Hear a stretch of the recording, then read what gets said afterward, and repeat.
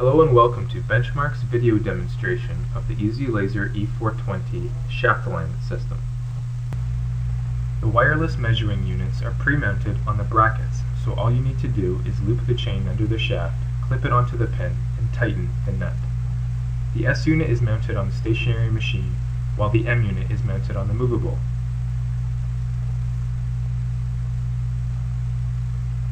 Once the system is turned on, the display icons offer a horizontal alignment, vertical alignment, and soft foot programs. Once the horizontal program is chosen, the screen prompts you to input the basic tape measurements, which are the distance between the measuring units, the distance to the center of the coupling, and the distances between the machine's feet. It is now time to measure, so the green button is pushed to continue. The display shows two live time measurements, 19 thou for the S unit and 9 thou for the M unit. Note that the beam is a straight line, not a dot. To record the first measurement, the green Enter button is pushed. The hourglass rotates while the measurement is recorded. We take our time doing this. The goal is accuracy, not speed.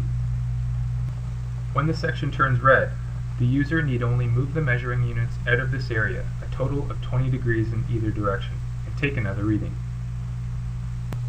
After the second reading is recorded, the user again moves the measuring units so that they are out of the red section on the display, another 20 degrees for a total of 40 degrees, and records the third and final reading. The screen now displays the measurement results with the vertical on the left and the horizontal on the right. To see the results in live mode, the measuring units can be moved to the 3 and 9 o'clock positions for horizontal, or the 12 and 6 o'clock positions for the vertical. The position indicator will appear showing the position of the measuring units.